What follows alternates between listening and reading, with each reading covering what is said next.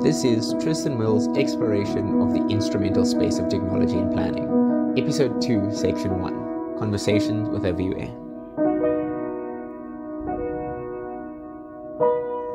So, just to jump straight in, um, I wanted to ask you a little bit about what you've been up to. Last time we spoke, there was uh, some stuff with Soweto or Alexandra that might Yeah. have been on the horizon. So, yeah, what have you been up to? What have I been up to? Listen, man, I'm in between buildings. um, well, let me start off to your first question. Uh, I read through the question yeah, that you through, Yeah. just inspiration to this, to this interview as well. Just thinking back, I mean, um, I liked your first question around how did I start from essentially doing research on open spaces in Soweto to now focusing what I'm more interested in now more than anything is um, the GIS stuff. So understanding how to use GIS tools to better understand the city, but also to better communicate, right? Um, so I think for me that was just a nice throwback. Say i- it's been a. I mean, I started um, with a, a keen interest in the township, right? So understanding the township and how um, some parts of it are incredibly inefficient, right? Just spaceship. And in my master's in urban design, I got interested. I was well, I was I was always interested in what we call the buffer zones, right? Oh, so yeah, yeah. the almost like a, a very still um, contrasting and striking um, component of the of many townships in the in, in our cities, um, Yeah. where you have these long buffer zones that either wetlands or um, they are even edges like um, um, railway trains. For yeah, instance. like like things in the completely divide yeah. different parts. Yes Yeah, not only divide the the townships to let's say industrial areas or suburbs, but also divide different sections of different communities within the um, within the within the township area itself. oh, Right. So I was um, yeah. So so I, I've been living like my whole I like I grew up in the township. I grew up in Mdantsane, which is like the second largest township in in South Africa. Um, and then I moved um, to Johannesburg. I lived with my aunt um, in Pimville, right? So in Soweto, so like one of the biggest townships again in the country, right? So moving between that and coming from a planning spatial um, background, um, it- those are the things that kind of irritated me, um, transversing between the two um, areas. One, Braamfontein, for example, to to to to to home, which was painful at the time. yeah, And when I was back at home in East London, um, Mdantsane, and transversing between school, um, the city, and um, the township, right? So, like these vast amount of land that completely um, uh, separates the parts, right? And I was, for me, the most irritating thing was how separ- how hard it is to get from your friend's house yeah, to your house, right? How, how hard it is to visit each other. So it's one of the things that I thought would be interesting to just delve into. And um, I mean, I, I didn't really have a particular direction on where I wanted to take my urban design and what I was interested in particular, because there's so many things to look at. There's so many issues, obviously. Yeah. But the idea around open spaces and the public realm and um, and this particular space that was in, well, that is interesting to me and still it is interesting. Um, so I looked at one of the things I try to look at is um, parks. I mean, this was also related to my funding. My Hmm. funding, I was funded by NRF at the time, that they were looking at open space. oh, okay, So I was like, oh, why not do buffer zones, right? So these green open spaces, almost like buffer zones. So that's how I that's how I got into um, that. Into But I think if. I if I can link if I can link into what I'm doing right now, my whole thing about I mean, I think our, all all our things in the built environment. If you're interested in the city, you're interested in urban living and um, spaces, um, urban design in particular. You're interested in how experientially you can shape the city to better um, to make just to make to make people's lives um, easier from moving one from one space to another. Right? yeah, So my whole thing was about how do we make either how do we make our people um, just their lives easier, especially people who are already struggling, um, facing a lot of frustration, not just economically, but also um, uh, what is it? What can I call it? All these socio-economic issues that we are facing. How can just space make that um, life experience a bit better, right? So if you're talking about the majority of the, the population, with this youth, but also black youth, and the racial um, frustration that happens in the city, that um, space has to um, has a lot of um, ways in which it it almost exacerbates that frustration. So my whole thing was about okay, how do we make at least one thing better so that these people can move a bit better, they can experience a step bit better. Yeah. So efficiency uh, is quite important to me, um, not only spatially but also in terms of tools. Yeah, I can right. see how you jumped into the the ArcGIS then. I think what you're saying about the, the, the belts being used to, or these buffer zones being used to separate communities within um, individual spaces was quite interesting because I always thought of it as like this apartheid era thing to separate, um, uh, you know, like African people from white people. Um, mm. but it never really occurred yeah. to me that it was actually separating people within their own communities as well. Um, yeah. So yeah, I mean, going through your um, your, your masters and your, your honors stuff to do a little bit of uh, research before this this interview. And what also struck me is how you um your, your drawing style was very very, very much like Lentle's, where it's the the hand drawn um, artistic style. Um, and I, I, was so confused. I was like, how do, how do you go from this to like the ArcGIS, which is this, this clean, like very clinical uh, look quite often. Um, but yeah, I, I, think it makes sense um, to use it, especially for things like that, because the the analysis that you can do just happens so much faster. Um, yeah. Yeah. I mean, it's, yeah. I mean, that's quite an interesting observation as well, because one would think that because I'm interested, like I'm, I mean, I'm very, um, what I I prefer to use digital when I'm even when I'm designing or I'm doing analysis. I prefer to use like software because it's just an extension or make things faster, much more efficient. But I think when you are thinking through, um, I mean, at least um, where I was at the time um, between masters and where I am now, and how technology has evolved between just these past few, let's say, five six years. I think there's so much stuff that has been done, especially when it comes to GIS um, and um, digital drawings. Um, that enables for almost like conceptual thinking uh, that it, that um, has changed. So I found it at the time very difficult to almost think through the city conceptually, but also in terms of design um, through those softwares. So I knew I know I, I did a lot of Photoshop things, but what was irritating about the Photoshop and the Adobe software is that there's no real data. As soon as I finish doing that map and how much, no matter how beautiful I make it look, like, you know, yeah. how cynic I make it look and how emotional I make it look to depict what I'm trying to say, it could never really be useful after that, right? Or without me there.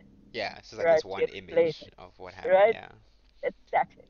Yeah. So, um, for me, just try to almost cross those lines, I had to always move back and forth between pen and um, and digital, and I think that's what I struggled with. And I think for me and how GI has evolved now is that it's exciting because there's so many things that the ways that these softwares are now starting to start talk to each other, which I think um, um, your topic um, around AI and GIS working together, the the things that deep learning has been enabled, um, that softwares start to speak to each other, you know? Yeah. So that's some exp- that's why it gets me excited about GIS and um, yeah, and the city. It's, I mean, GIS to me is extremely exciting. I think the space coming up where you're talking about like that static image that you um, like produce with CorelDRAW or mm-hmm. Photoshop or any of those things. Um, what I like about the the ArcGIS uh, like now um, is ArcGIS Pro and ArcGIS Urban. It's it's kind of um, turning into more of like a web-based um, like application that's live. Like uh, with um, ArcGIS Urban, there's there's a way to create a digital twin city that can be updated on the daily. So anyone anywhere who's doing a project will do it live on that digital twin.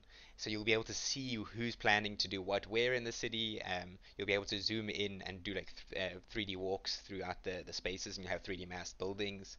Um, I think maintaining a, a um, yeah, twin like that would be so beneficial just to save so much time with planning because I think the amount of times that I've had to draw like a base map of Braam or Mm. something like that is hours of work.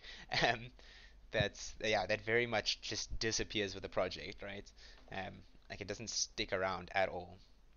Um, Yeah, man, and I think I think that's what makes me excited about um, what GIS is, able to do now is there is so much time um, that you are that now I'm trying to push um, well just in terms of creating tools right to push so that one we can almost fast track the mundane things so that the unthinking work so that we can get to the creativity or the the problem solving part of a part of city making. Yeah. All right. So I feel like there's so many.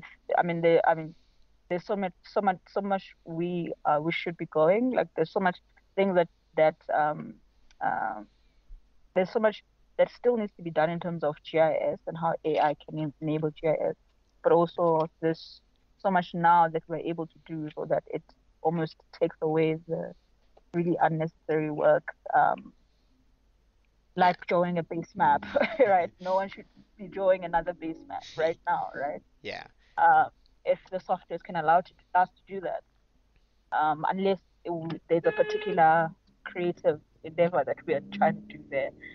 Um, but yeah, man, it's for me that's what's important is to how do we how do we get to the thinking and the creative part of it, Yeah. um, the problem solving part of it um, faster, you know? yeah. Um, Yeah. I think that, that does bring up another bit of an ethical question, though. So, for example, today when you're looking for this um, the contact data for project you're working on now, um, it reminded me of um, a thing that I've been learning to um, do recently with some coding. Uh, it's called internet scraping. Um, I don't know if Yeah. you've heard of it before. Um, Oh, yeah, so basically it's um, a couple lines of code and you can search for kind of any data on like a website or for example Twitter you can search for over a certain like time period everyone who's posted a hashtag or Yeah. um, yeah you can pull all of that data off and put it into a, a spreadsheet um, you can kind of pick any data you can take their names uh, if they posted photos you can take the geolocation of the photos to Ah. make maps um, it's it's quite I think ethically questionable because yeah, you can you can get contact information off of Twitter. Um, but I think leveraging that kind of data could be quite beneficial to planning as well.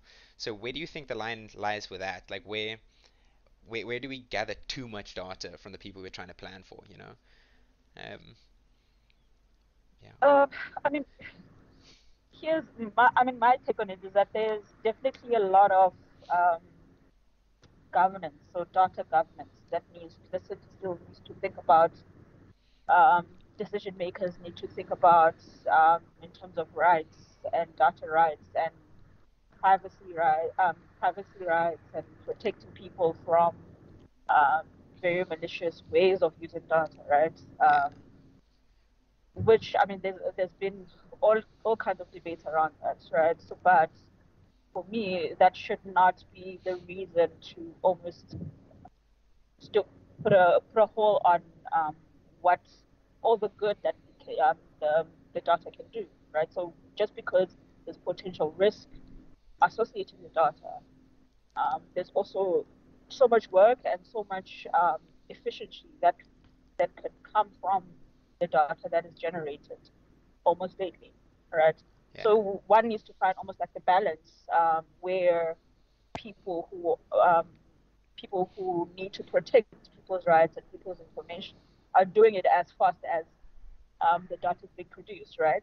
Um, so, but it, this doesn't mean that now there should be like a security wall, complete security wall until people figure out what the thing is, right?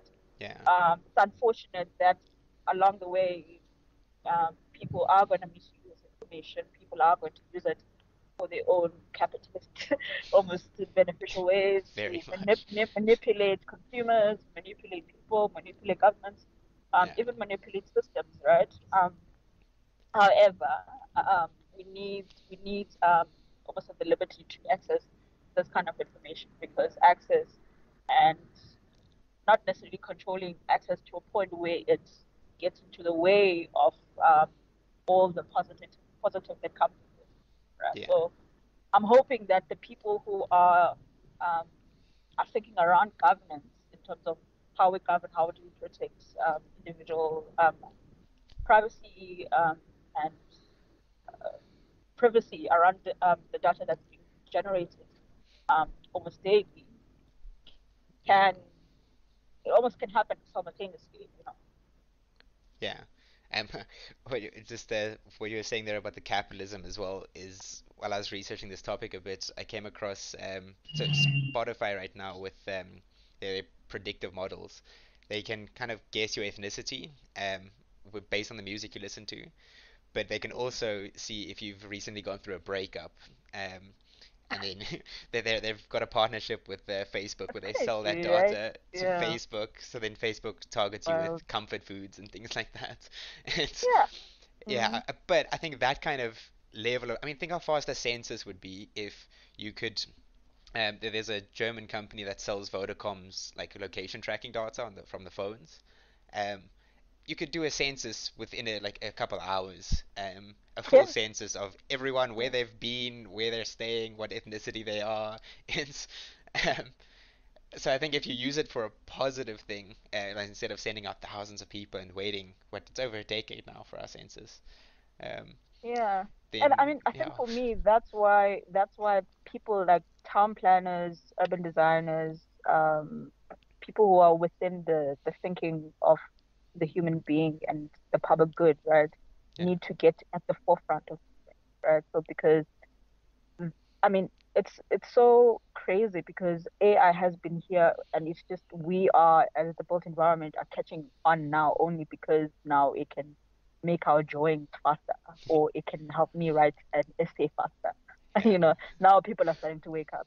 But AI has been almost around us. Um, because I don't it's not like this machine thing um completely out of you know, it's, I think it's like how you're saying, it's like related to programming, it's related to algorithms, right? yeah, yeah, So people have been writing algorithms, the thing that helps, like Facebook, um, Spotify, things like Spotify, things like there's so much. Google has been doing it for the longest time, and it's it's so much around us you know, right now that it, you don't, you, it's very difficult to really notice because it has become so much of uh, their everyday lives. But now, when it, we think about the things that we do as town planners and urban designers and architects and and and, and um, and how we can use um, and be at the forefront of that kind of technology is really crucial because there's so much one can do with just exactly the census data. There's no reason why we're getting census data only now, right? When yeah. there's so much rapid change that's happening every day, right? Um, and people are there's technology now to access that information. Yeah. So yeah, I think you can definitely get trapped in thinking like this stuff is um uh, like normal or um whatever, but it's it's it's an amazing technology. I mean, Yahoo came out with their um like search engine back in the 1990s. Um, but just that algorithm would have been so useful for planners. Um, just being able to predict um well, you obviously don't want to go too far with prediction, but population growths is um, very useful. I think something that's uh, coming out right now with uh, NVIDIA's, they're doing a digital twin of the Earth, so they're calling it Earth 2. But it's a weather prediction system that doesn't just predict the weather within like the next 10 days or whatever, but they're doing decades like forward-thinking predictions. Um, so they, they can predict forest fires, um, the climate change. It's massive amounts of computing power, but it's not unrealistic. And I think predicting, for example, like how cities or people move in cities would be much more simple than predicting the entire weather system of the planet. Um, so why aren't we Right. using Yeah. that yet? Like, um, well, yeah, why are we still like trying to dig out old plans or, yeah, struggle with drawing base maps when we can literally Yeah. right now with data available predict where the city's gonna grow? Um, it's we, we're definitely behind. Yeah. yeah. And I think for me, that's where I am right now. It's just a pity that I think I, I feel like I need to. There's so many things I need to go back to school for, but uh, I, I feel like I don't as well at the same time because things like coding, right? Yeah. Um, and um, writing just code and how Python has been made so accessible now to people who um, to to to even planners can try um, ask these things. Like there's so much um, resources as well to enable for us to teach these things. But the only issue I think for me what's laying us behind is that no one is thinking about these problems the way that we do, right? Yeah. Um, that's why you don't find these kind of problem solving algorithms that are already there for us to enable us to solve um, problems better, right? Yeah. And for me, where I'm at with this whole coding thing um, is how is this um, is how we communicate. I think for me, um, and that's where I'm coming in with. Well, well, that's where how my interest right now is to developing tools to enable um, communication. So things like surveys, right? So how do we make um, collect the, data that's already been collected every time we go out and collect the? But how do we um, visualize that data in meaningful ways that enables us to communicate better, right? Yeah. Uh, because so much of our time is really spent on communicating ideas and communicating the status quo, um, where we are doing this in ways that are not inaccessible, mostly inaccessible, right? Through the PDF document, through a PowerPoint presentation, right? yeah. Uh, when how people access information and how people are engaging with data every day has gone way, way beyond those mediums, right? So, what are other mediums that we can start building um, for town planners to better communicate for to decision makers, but also to different um, um, sectors of the public, right? Um, Yeah. stakeholders, right? So, and for me, like just just in that small part where it's about communicate, how do we communicate the issues better, and how do we communicate how we could make these things better, right? And make that accessible. Yeah. I think Um, that accessibility is a big thing. I- It's uh, I saw a project happening in uh, Spain. I think they did it in uh, like Scandinavia as well, where they, they set up um, almost like like touchscreen um, kiosks in the public space, and the basically thing it was a, it was a map of the street, um, it's a 3D interactive thing, and it was asking where would you like to see like trash cans or um, benches or trees or anything like that. Um, so literally all they had to do is go and put up this um, touchscreen, and then anyone walking past could give their input and their feedback, and that was just yeah th- that data could be captured and used for the the design intervention that was coming. Um, I think being able to interact with the public's definitely not a strong suit of planning, um, and I think definitely something that's um, technology can help with because instead of having to go to like local council meetings, which you know you have to have the, the time to go, you have to have the means to get there, um, and then you have to wait around in a room with uh, like a couple dozen or a couple hundred people and like try and get your your little say in. Um, and then you also have to wonder if that data is even being used because it's a big problem with Mhm. planners just all right cool uh, the public said this we did public participation Mhm. let's let's move on um, so I think accessibility and we all have phones it's very yeah I mean think of the way you can um, interact on like just Instagram with um, like local clubs or, or anything like that like why are like drinking places more accessible than you know government interventions it's yeah Right. like it's it's quite a strange phenomenon.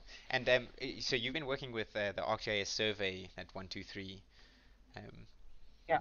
Yeah. You, you also mentioned that you were building um, portals for businesses. Um, what was that?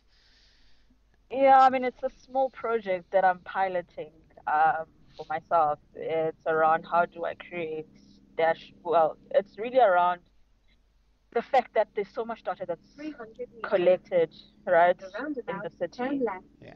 um, by turn different municipalities, but also by different, um, let's say, offices, right? So, for example, in places like places like Alexandra, right, every other two years they collect surveys. So, uh, what is it called? They call social surveys, right? The roundabout, And turn all that data eventually, um, turn right. at the end, um, it sits in reports, right? Yeah. And everyone is frustrated at the end of the process that there's so much data that was collected, um, but no one really can understand it. The designers can't understand it because it's in these tables and graphs. Um, the right, planners are finding it difficult to speak to designers about the data and they choose what they found. Where were we? we were talking about the, the, the business portals that you're setting up and the, the surveys. Oh, that yeah, Yeah, it's really a pilot project that I'm trying out for myself. Um, I've been well. I think what inspired it is the a project that we, I had recently finished with um, ASM with Monica around creating digital cities or digital twins. Right, there was this whole investigation into digital twins, um, a concept that, well, an idea that the city trans- the city transformation department in the city, COJ, had initiated, right? So then we had been appointed to be the urban designer project managers for that. So it's basically collecting all the data and putting it into one data base, almost like a one pot. Yeah. Um, so we then had we had there was an extensive exercise right with different different other specialists right that were part of the team, and one of the one of the thing was to explore different ways not only collect data but also to um, think about how it's going to be visualized, right? Um, and engaging with different stakeholders and how are they data and what tools they are using to collect information but also to visualize. So the idea was to create a digital twin, um, and then in, in essence that would almost bring the city in a digital format to life, right? Yeah. Uh, but it was going to be an incremental stage, and we had we were involved in the collecting of the data into one database. So my after the project ended, uh, my interest was okay with all now the data that we have. What are the ways that one could use it to be useful for different tools for different um, um, for different stakeholders, right?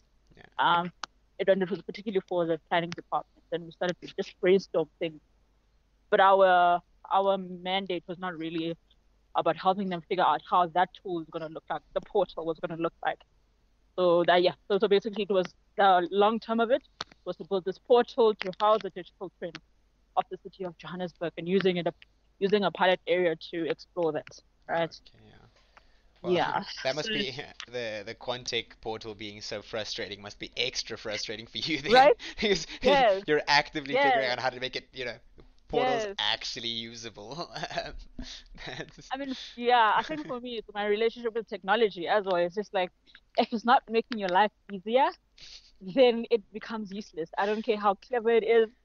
Um, if one can't use it, if it crashes on your phone, if I can't open it with a very basic technology, and I have to have all these five different gadgets to do this, to engage with data, then it becomes useless yeah. right? d- How can we make it usable, accessible, is for me the number one thing, and that's how this whole my whole thing around how do I take the data that's already been collected by um, different businesses around the city and pilot that, right? So we're working, I'm working with another project now. In Alex, there was a social survey, so putting that together into a portal and then looking at their workflow, right? So that next time that they collect the data, um, it becomes easier to incorporate. So you build an archive, right? Yeah. Um, from there. So yeah, so yeah, so I'm basically just testing that out, um, and this comes in different different formats. It can be dashboards, it can be portals, it can be yeah, Yeah. All of the apps, interface. Yeah. apps, right? Um, and the idea is to look at different user groups as well. Okay, you're talking one and through a dashboard, you're talking to, um, let's say decision makers, so politicians or city managers. Yeah. Or what two you are talking to stakeholders, which is the residents, um, property owners, um, youth, and and and. So how can you create tools for those different user groups. Yeah, I think it's also um, I mean, you, you can at, at face value you can be like, all oh, right, no, like you just don't want it to, to like crash on you or whatever. But I think this the like having bad portals actually has a far-reaching consequences. Like um, I, I heard a story from one of our lecturers where um, there, there was this woman who um, she she ended up getting a, like a BRT card because um, she was like, all right, she only got a certain amount of money per month that she can spend on transport, and it'll be quite nice if she could just put that on, you know, a transport card, so then she can't spend that money unless it's for transport. Um, so yeah, she she put two thousand rand ish onto the card, and BRT went on strike, and there was no portal to get the money out of the card. There was no way to um, contact anyone um, to yeah yeah help her out. So what ended up happening is she didn't have money to tra- transport herself to and from work, and ended up losing her job because like the, the, simple interaction of the person and the technology that we're trying to um, like implement in the city just was garbage. It wasn't working. Um, so, so, yeah, so for me, so for me, then yeah, that becomes important because I feel like the interface is very important, as much as the back end is very important. So it's now coding, um, but you're also looking at um, UX design, right? So that yeah. Um, yeah, so it's specifically UX design, right? So how do you do that? So as much as important as the data that was collected, right? Yeah, no, exactly. Because yeah, user friendliness is very important. I think you can also Facebook's drop on uh, like user base just because of their their interface being crappy has yeah, it has monetary consequences for a lot of businesses as well. Mm. Imagine she lost her job, man.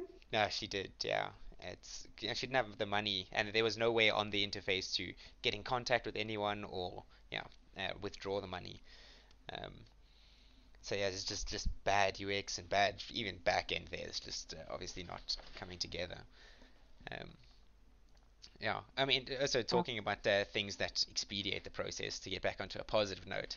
Um, the mm. the Photoshop thing you sent me.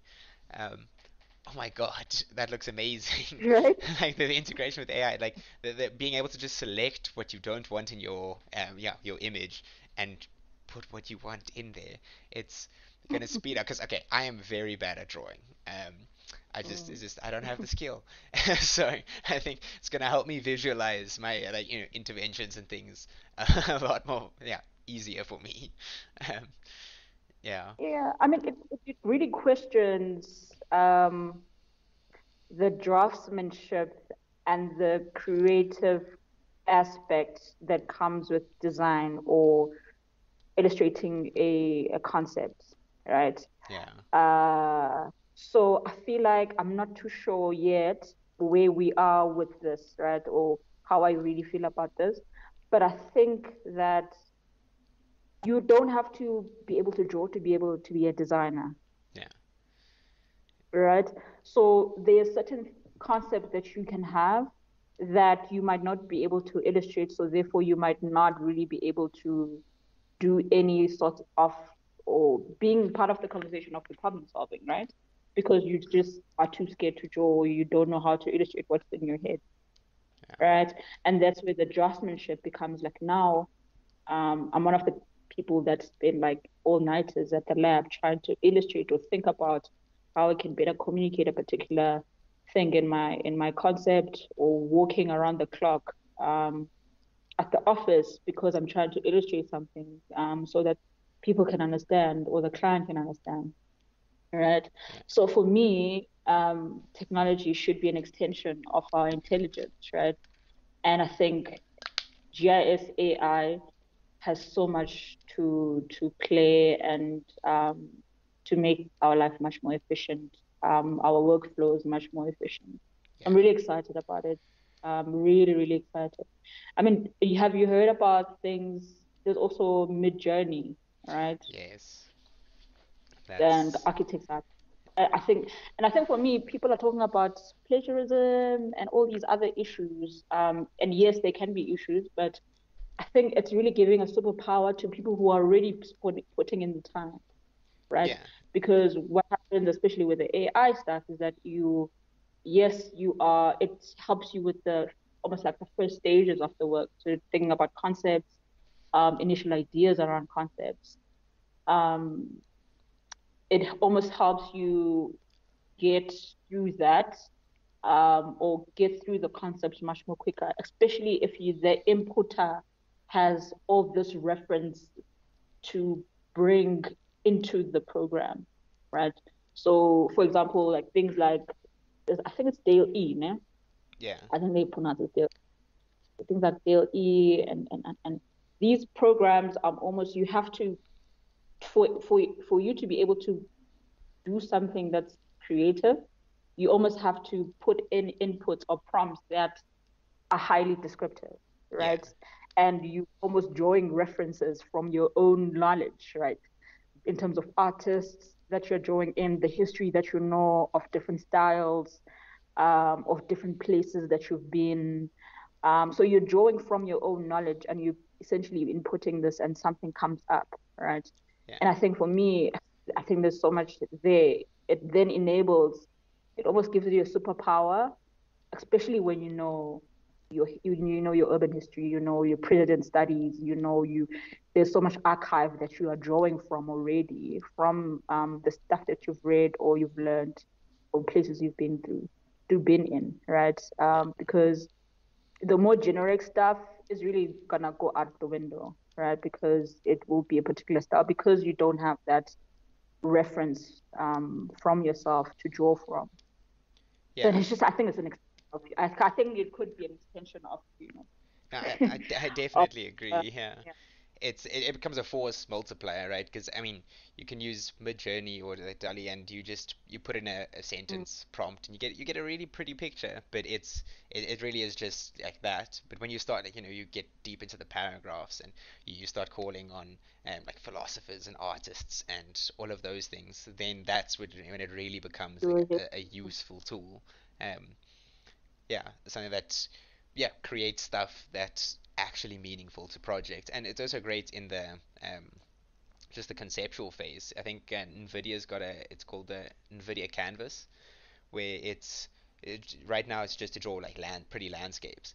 But on the one side you've got these tools that are very basic. It's like a little line for a river a little little um, color for a, a rock or something like that but then you take those tools and you're drawing on this canvas and it's interpreting what you want so you draw a river and then it draws like a photorealistic river into the photo um, mm. so that also becomes like this force multiplier of um, all right you're not the best at drawing or perspective or you know gradients and things like that um, then let the computer do the heavy lifting for you but your creativity mm. and your um, your purpose of when you're putting like you know the, the, the brush to the canvas um, that remains um, so it's just increasing the the speed, um, but also the accessibility yeah. of all of these things.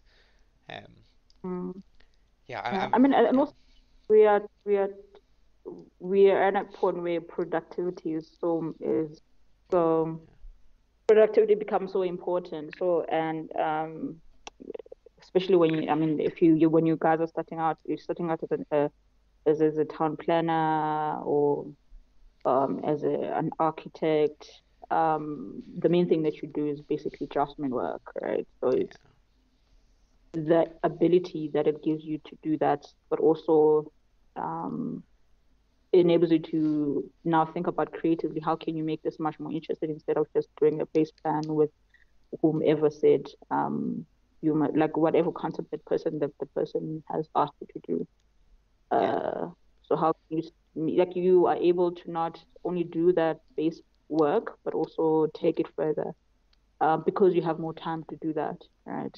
Yeah, exactly. So yeah, yeah, definitely increases the, the productivity. I think it. I, I mean, if you know how to really use it, it has the ability to do that. Yeah.